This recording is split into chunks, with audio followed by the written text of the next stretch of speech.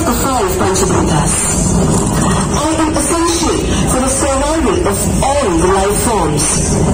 I am needed for the most basic necessity as in consumption of food to the end of life.